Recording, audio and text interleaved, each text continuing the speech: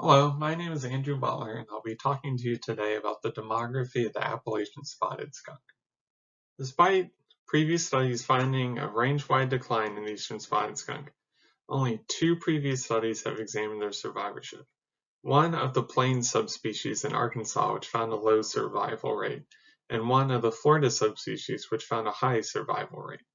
The Appalachian subspecies across 13, occurs across 13 states but has not previously been studied, and therefore the objectives of this study were to estimate the survival rate of Appalachian spotted skunks and evaluate several different hypotheses for survival, estimate the litter size, and estimate the population growth rate.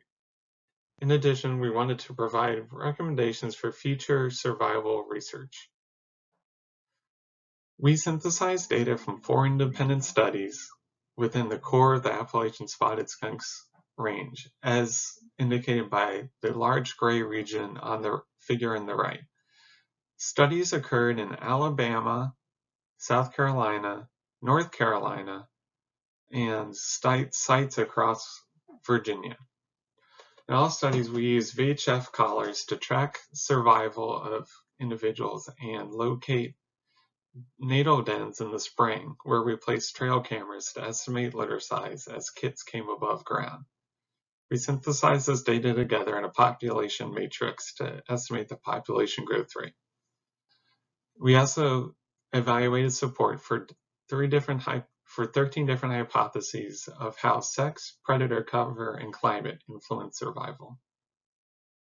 Using data from 99 collared spotted skunks, we estimate the annual survival rate of adults to be 58%, which is intermediate between the plains and Florida subspecies. We also found that avian and mammalian predation was the largest source of mortality across studies, but disease was important locally.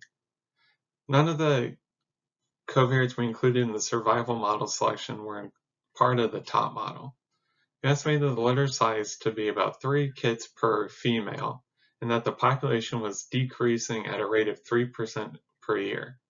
We suggest that future studies monitor skunks over a wider land use gradient and include experiments of replicated sites where habitat manipulation is occurring. Also, future studies should focus on diseases such as canine distemper and their effects on population growth.